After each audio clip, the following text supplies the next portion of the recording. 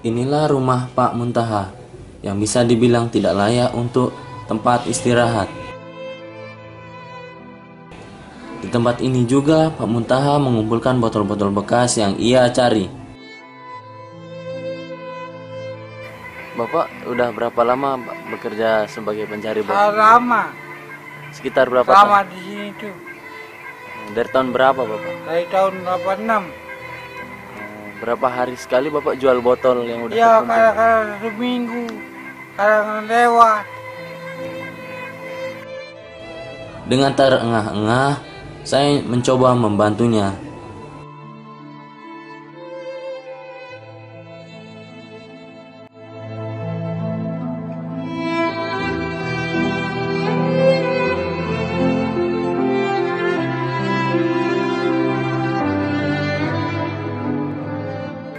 Satu kali jual botol dapat berapa, Bapak? ada 500 kadang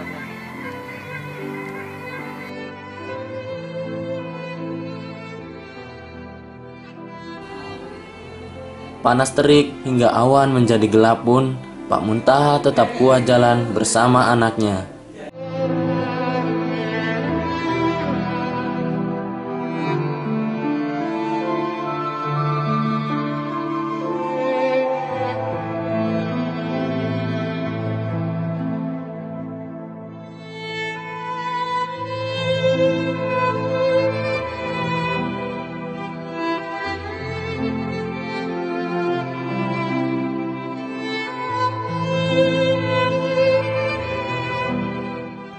Uang yang Bapak dapat itu cukup untuk berapa hari, Pak? ya untuk anak sekolah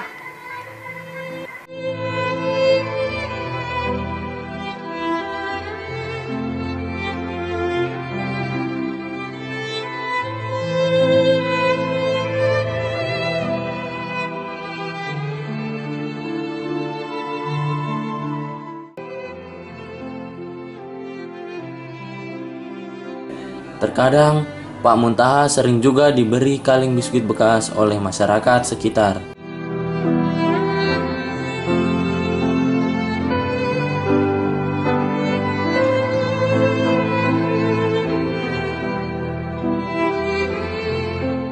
Susahnya dalam pekerjaan ini apa? Susahnya susahnya hujan itu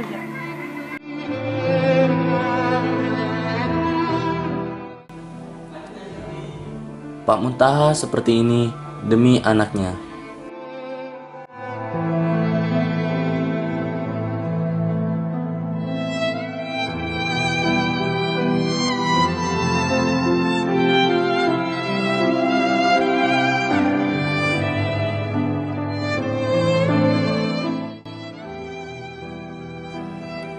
Saya membuat film dokumenter ini untuk menghimbau kepada masyarakat agar selalu bersyukur kepada Tuhan yang telah memberikan nikmat kepada kita begitu banyak dan telah kita sadari bahwa begitu banyak orang yang masih di bawah kita.